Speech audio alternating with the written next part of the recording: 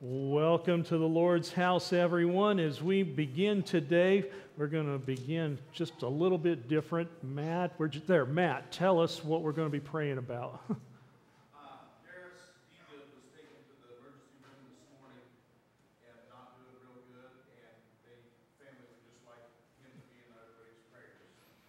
right, so that's how we're going to open church today is let's bow in prayer and ask the Lord's presence to heal.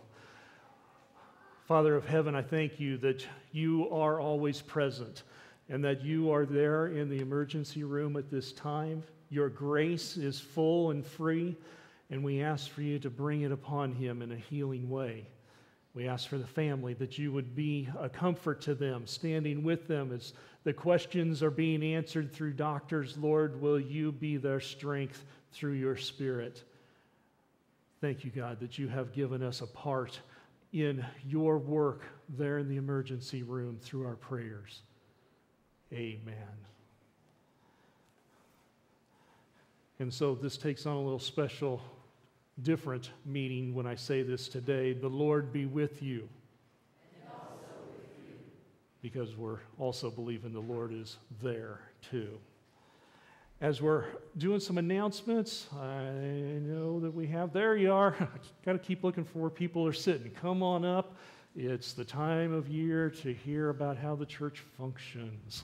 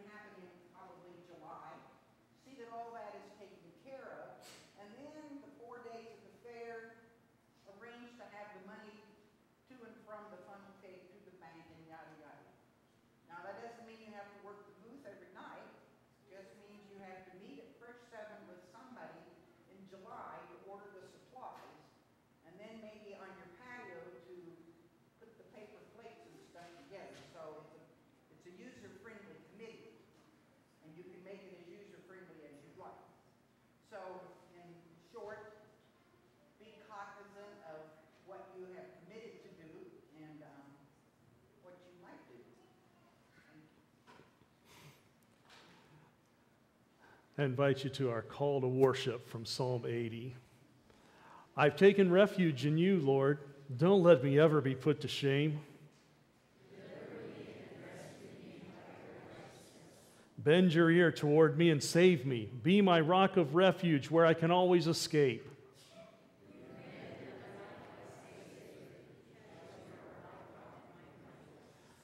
I imagine you can think of more than a thousand ways that God has been your refuge. He's been your rescue. Number 57, it just puts it a ballpark, a thousand. Stand and let's praise the Lord for what He's done for us. Number 57.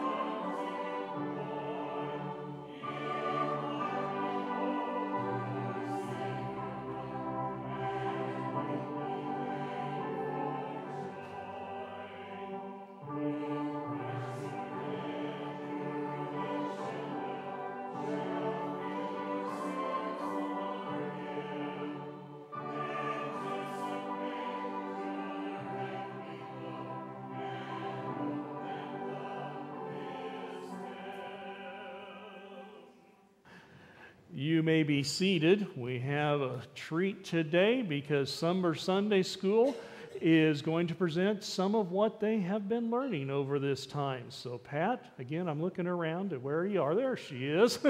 Come on up and have the kids do what you've prepared them to do.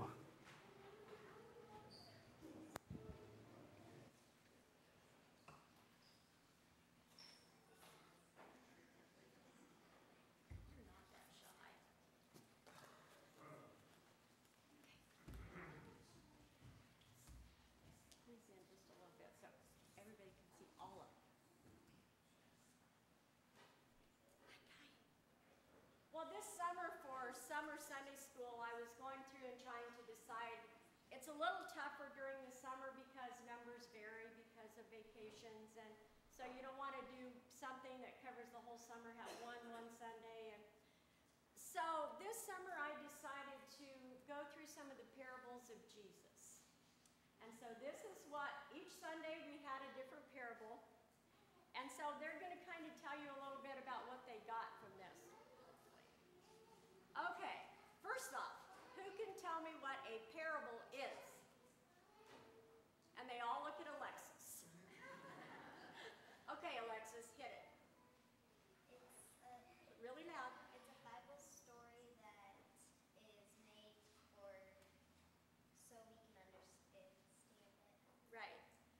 story that Jesus told so that we could understand it because as we discuss, sometimes when we start reading the Bible, we're lost.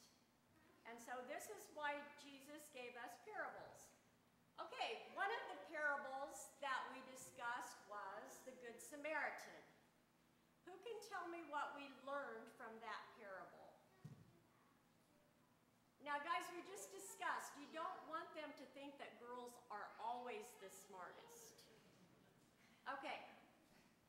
tell me about the Good Samaritan? Pierce, I know you can.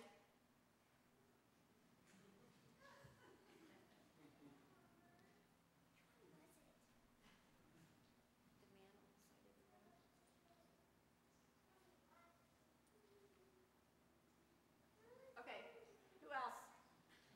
Pierce isn't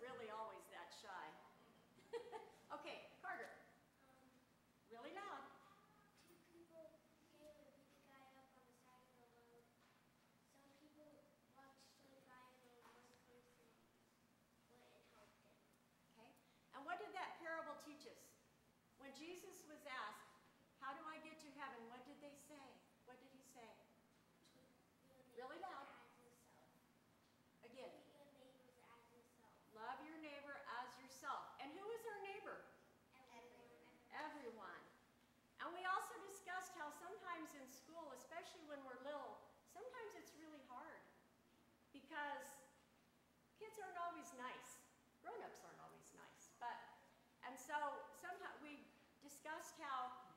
just need to do our best and to try and help that person because we don't always know what that person is going through. Okay,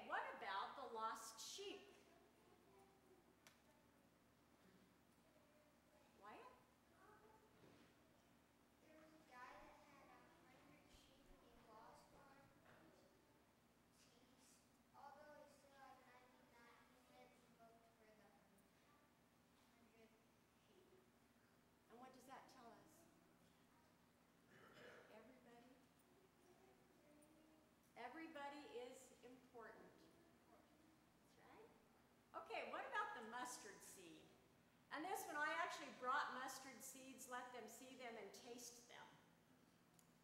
And some of them wanted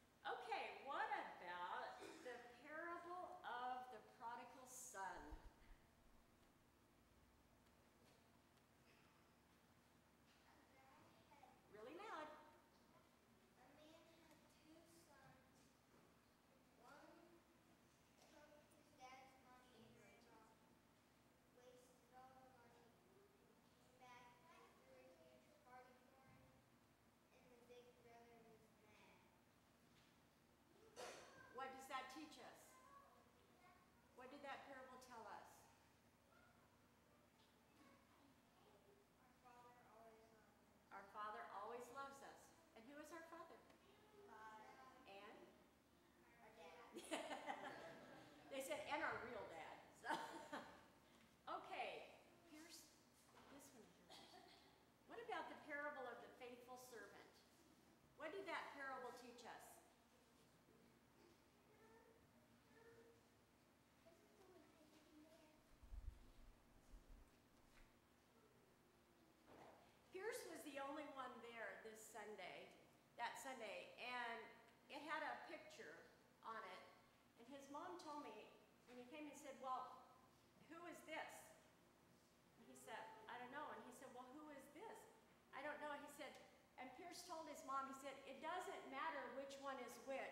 must always what?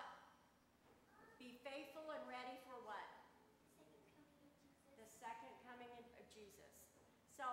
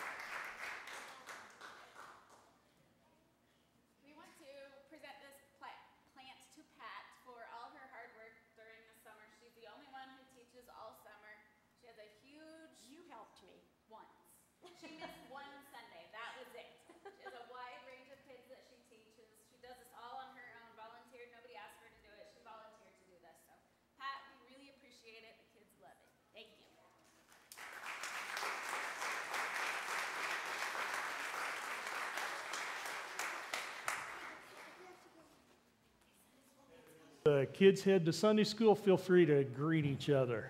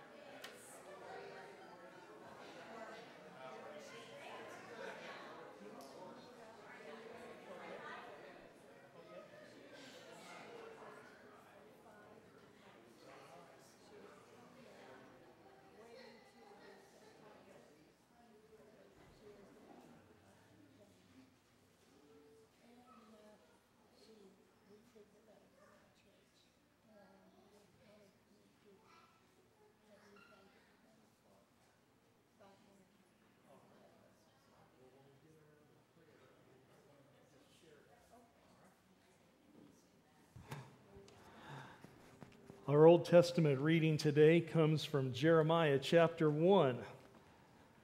Now the word of the Lord came to me, saying, Before I formed you in the womb, I knew you, and before you were born, I consecrated you. I appointed you a prophet to the nations. Then I said, Ah, Lord God, behold, I don't know how to speak. I'm only a youth. But the Lord said to me, Don't say I am only a youth, for to all to whom I send you, you shall go and whatever I command you, you shall speak. Do not be afraid of them, for I am with you to deliver you, declares the Lord. Then the Lord put out his hand and touched my mouth. And the Lord said to me, Behold, I have put my words in your mouth. See, I have set you this day over nations and over kingdoms, to pluck up and to break down, to destroy and to overthrow, to build and to plant. And one of the things that God has called all of us to is that building and planning process through our tithes and offerings. So, ushers, if you would give us the opportunity to build the kingdom of God here in St. Francis and beyond through our gifts.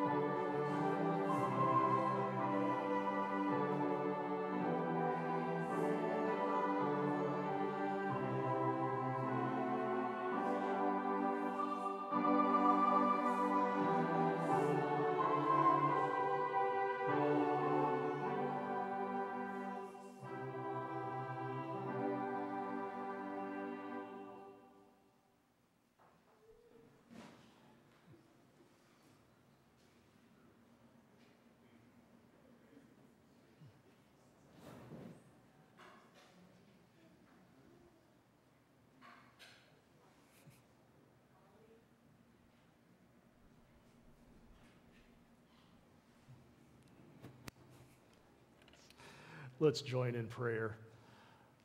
Lord of heaven, you have blessed us, you have given to us, and now we return these gifts to you. Honor them, I pray, for the work of your goodness and kingdom. Amen. If you grab the hymnal with me, 369, Blessed Assurance.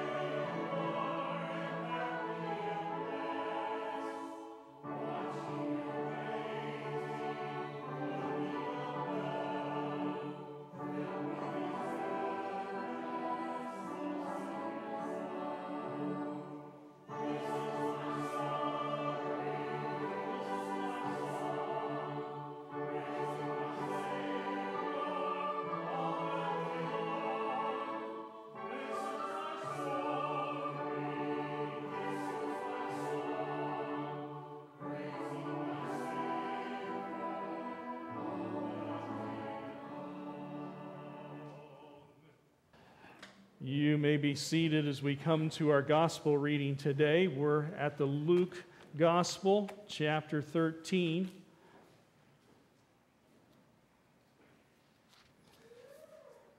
Now, Jesus was teaching in one of the synagogues on the Sabbath, and there was a woman who had a disabling spirit for 18 years. She was bent over and could not fully straighten herself.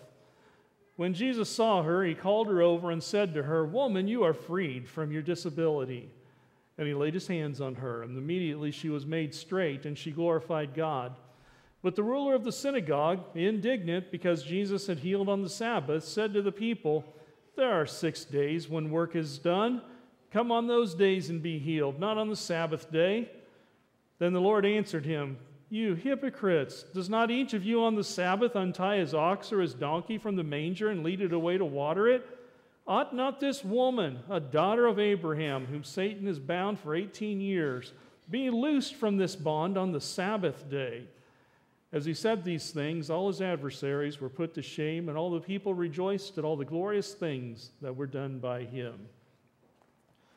One of the great things we get to do in prayer is glorify God, just like the people did as they saw things action. So, in a moment, give you a chance to glorify God. And before we do that, I want to make sure, Matt, I know there was somebody else that you wanted us to be remembering in prayer. Help us remember.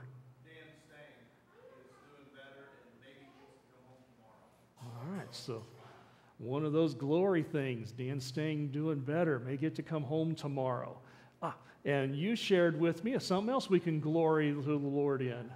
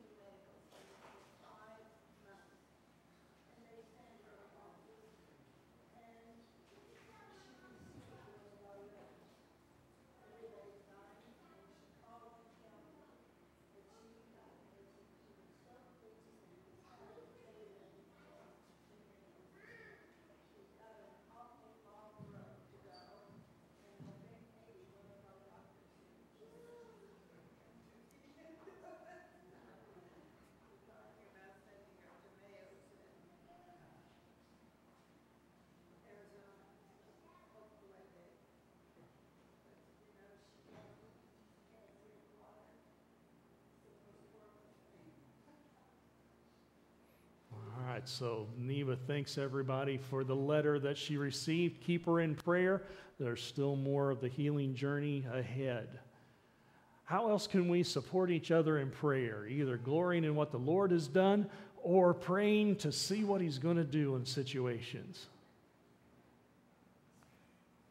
Um, I don't know if everybody remembers Donnie and Sharon Sherman that used to live here. Um, Donnie was the cable guy forever. Um, their son Russell and his wife Claudia just lost their twenty-two-year-old son, uh, down in Corpus Christi. I'm not sure of details. Um, Russell's sister Tammy said Russell's not ready to talk about it yet. But the only thing that she knew was that it was a trauma accident of some kind.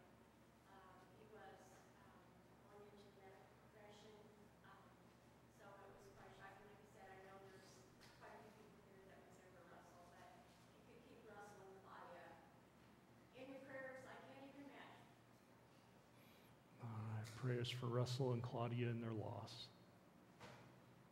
Is no longer at the hospital, but she's up at the nursing home right now, and, uh, she's still got a ways to go before she can get to her apartment, so appreciate the prayers for her. Yeah, She's doing better, but she's got to improve a little bit more. yeah, praise the Lord for Valjean's journey to this point and now over at the nursing home for a little more healing to happen. Jerry Kress told me a little bit ago that Pat will be having knee surgery Tuesday. All Pat's going to be having surgery Tuesday.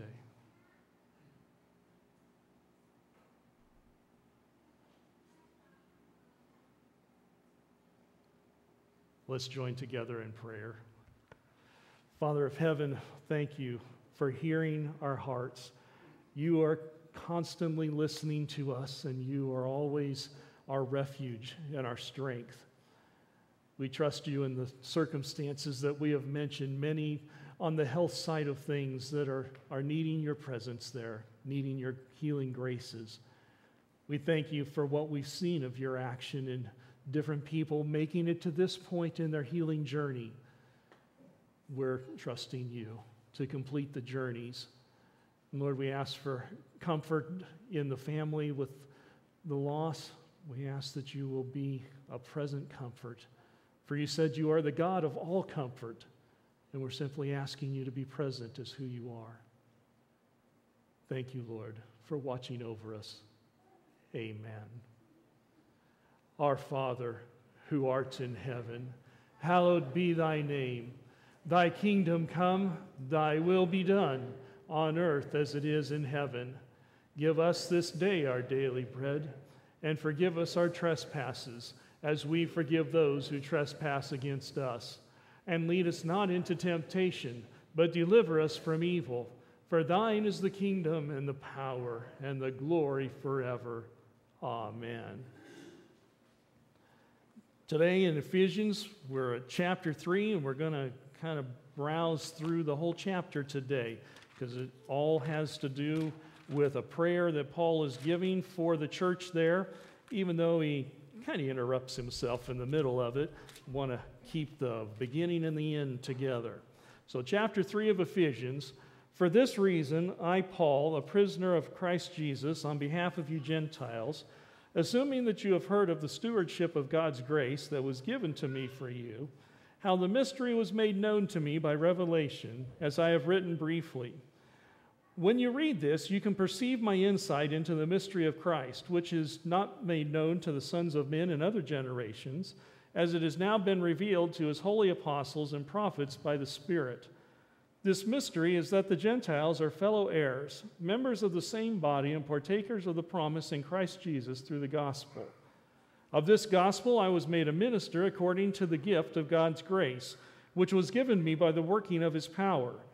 To me, though I am the very least of all the saints, this grace was given to preach to the Gentiles the unsearchable riches of Christ, and to bring to light for everyone what is the plan of the mystery hidden for ages in God who created all things so that through the church the manifold wisdom of God might now be made known to the rulers and authorities in the heavenly places. This was according to the eternal purpose that He has realized in Christ Jesus our Lord, in whom we have boldness and access with confidence through our faith in Him. So I ask you not to lose heart over what I am suffering for you, which is your glory. For this reason, I bow my knees before the Father, from whom every family in heaven and on earth is named that according to the riches of his glory, he may grant you to be strengthened with power through his Spirit in your inner being, so that Christ may dwell in your hearts through faith, that you, being rooted and grounded in love, may have strength to comprehend with all the saints what is the breadth and length and height and depth, and to know the love of Christ that surpasses knowledge, that you may be filled with all the fullness of God. Now to him who is able to do far more abundantly than all we ask or think, according to the power at work within us, to him be glory in the church and in Christ Jesus throughout all generations, forever and ever. Amen. Would you bow with me? Holy Spirit, open our hearts that we can be present in the words today, that we can hear how you are speaking to us, so that we can act how you are calling us to act. Thank you, Lord God. Amen. In chapter 3, Paul starts out saying, For this reason I'm going to pray. And then he kind of stops to think about everything God has done for the Ephesians before he comes back around and says, For this reason I bow my knees. And one of the words that you see happened as Paul especially makes that little insert in the middle of his prayer one of the words that you see over and over again is about power. Very big word in Ephesus because Ephesus was a center of the occult.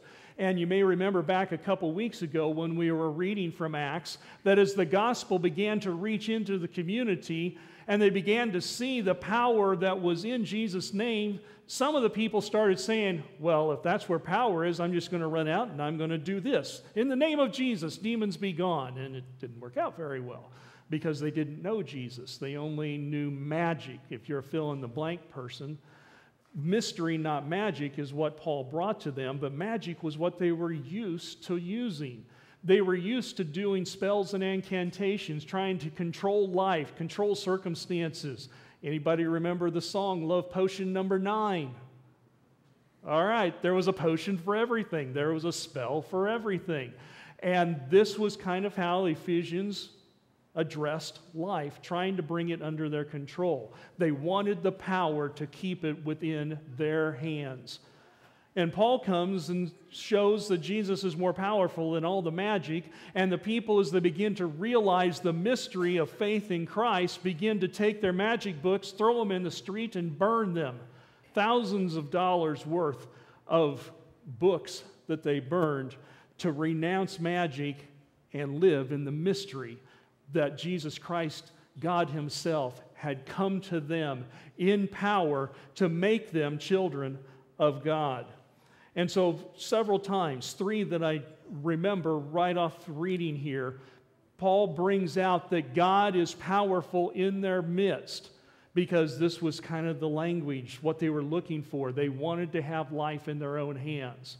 And you may be sitting there thinking, oh, I'd never delve into magic. I'd never pull out spells and go, well, you know, I just went to Dollar General and you can buy a book of Harry Potter spells that the author, she said she took them from a real magic book. And you can pull it out and you can say, this is how I'm going to try and control my life. But I'm guessing you're probably not going to do that. However, have you been pulling out your checkbook and trying to control life?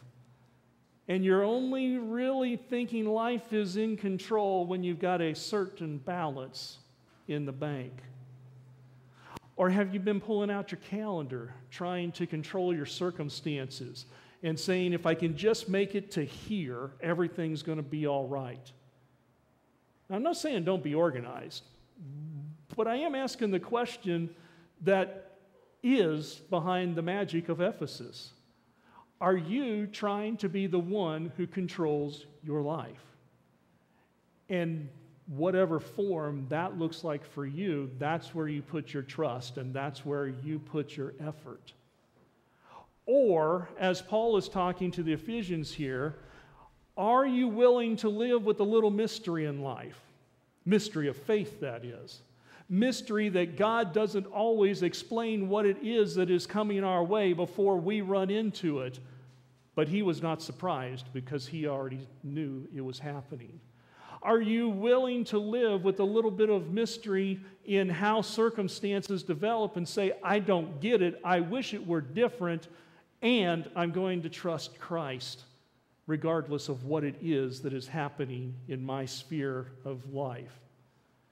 That's where I think Paul was especially challenging the Ephesians in this chapter was that they would not revert to trying to take life in their own hands but they would continue in the power that saved them once and for all and let that be the hands that guided them. Because Paul has kind of turned away from the first couple of chapters where he's talking about this is the power of Christ in you for salvation and explaining it to now using it as an illustration. Saying that if you believe that God had the power to save your eternal soul, then don't shortchange him in saying he's not powerful enough to handle your personal life right now and to guide you and guard you and walk with you. And so he brings over saying, if God is so powerful to change us from life to death, as he did in chapter 1 and 2, then he's powerful enough to take care of life right now with you because I think all of us know we can try and try, but we fail and fail to make life what we want it to be, just the way it's neat and nice. And for Paul, this was very evident because his life was not neat and nice when he wrote this letter. He was sitting in jail. And you see in verse 13, he's concerned about how the Ephesians are handling this.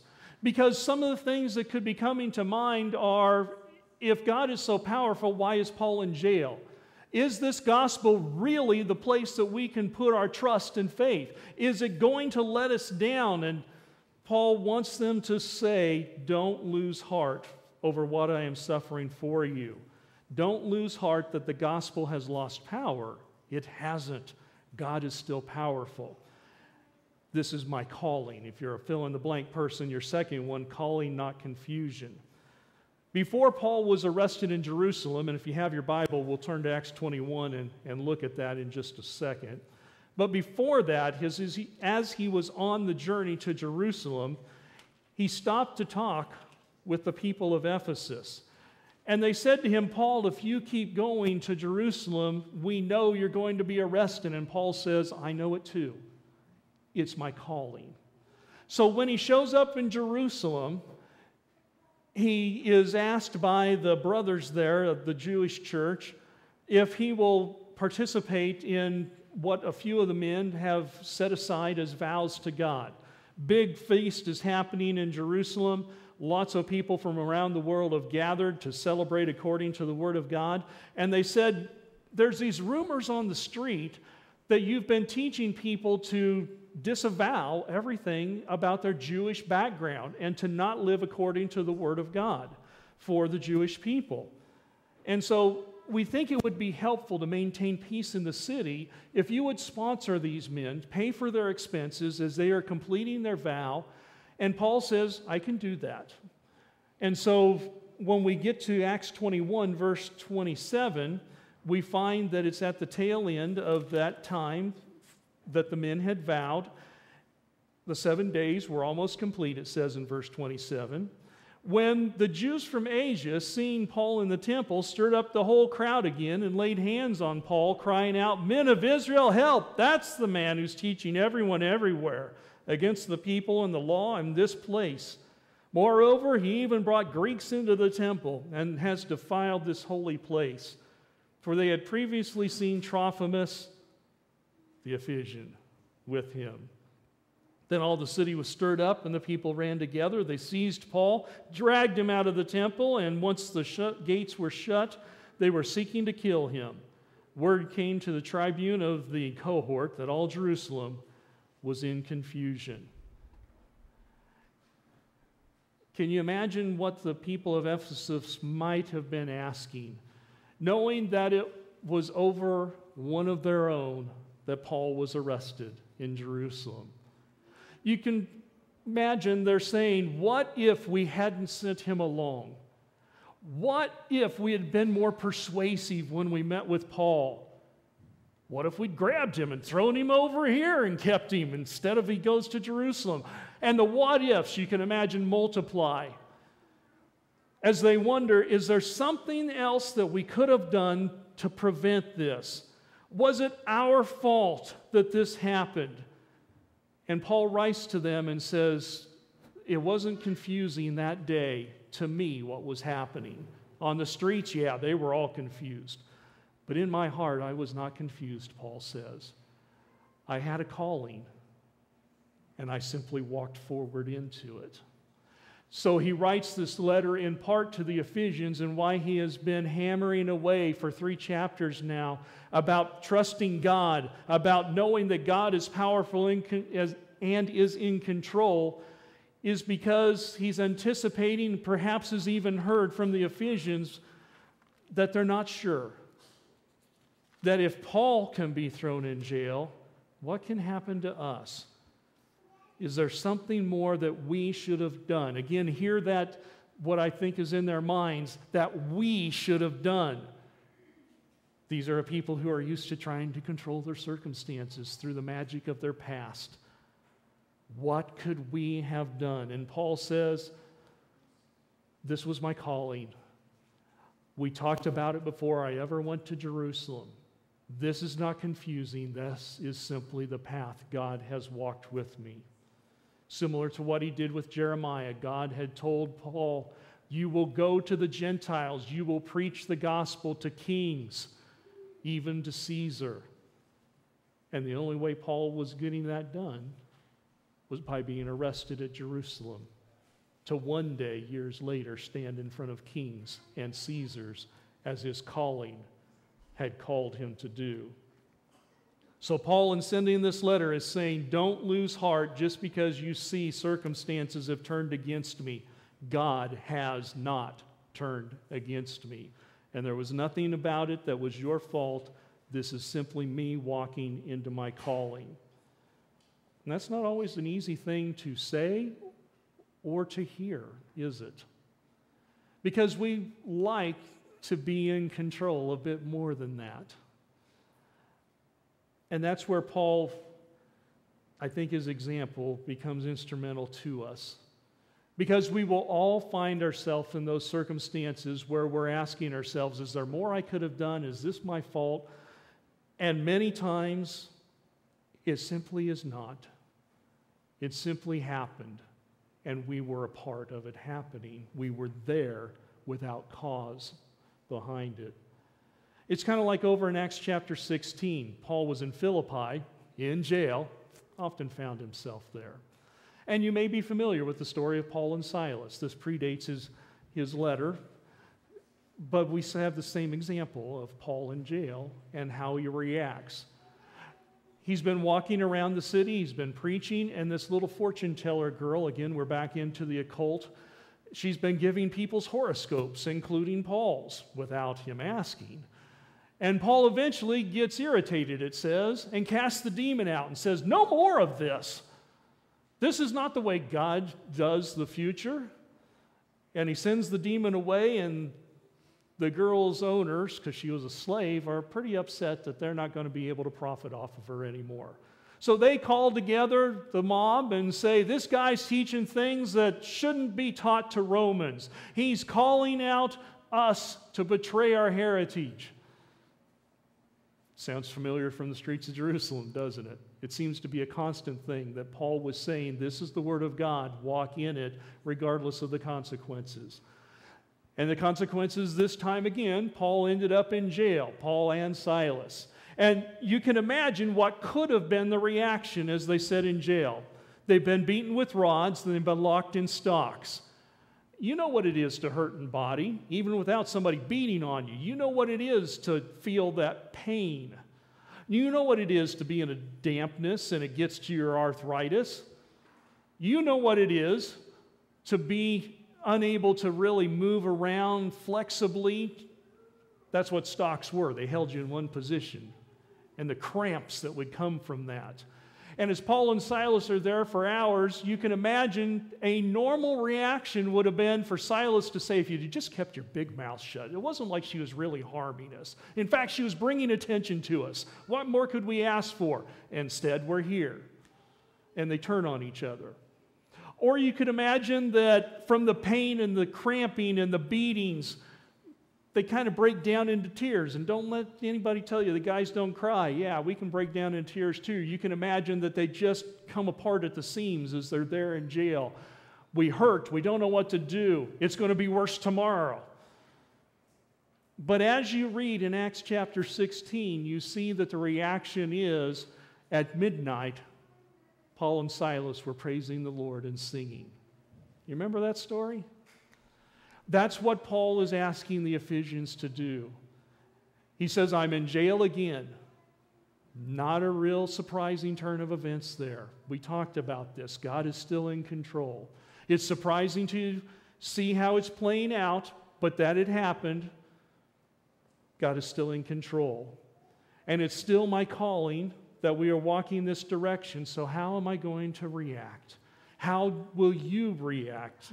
More importantly, is what he asks of the Ephesians. Will you say God's not in control? Will you collapse into tears? Will you come apart at the seams? No, here's what you should be doing, should be your reaction. You should be in prayer. That's your last fill in the blank, not pouting. Because it's so easy to get ourselves into that point where we say, Life should be within my hands, and when it messes up, it's all my fault. And so often it's not. Oh, yeah, we do dumb things, and we reap the consequences. I'm not saying that doesn't happen. But how much more often is it simply the fact that circumstances are what they are, and we are living in them without even really causing them? And as Paul is talking to the Ephesians and telling them not to lose heart, he says, For this reason, because God is powerful, he has saved you. For this reason, I now bow in prayer for you, because I know it's difficult for you to hear that I'm in jail. And it kind of had something to do with that Trophimus guy from Ephesus. So let me pray for you, he says. And that's where I'm going to stop today and pray for you. But I'm also going to encourage you to take it into your own practice and don't try to take life into your own hands. Take life to God and leave it in His hands. Would you bow with me? To the God of heaven who is able to do far more abundantly than all that we ask or think, according to the power at work within us here at St. Francis to God be the glory in this church of St. Francis and in Christ Jesus throughout all generations, forever and ever. Amen. That's my prayer for you. That's my prayer for me. As we continue to walk into our calling and live by the power of the Spirit in prayer and constant dependence upon the Lord. I invite you to stand and take your hymnal with me, number 572. Like Paul, don't keep it to yourself that God is in control, even when circumstances are wacky. let people know that God is still who you're trusting and pass it on.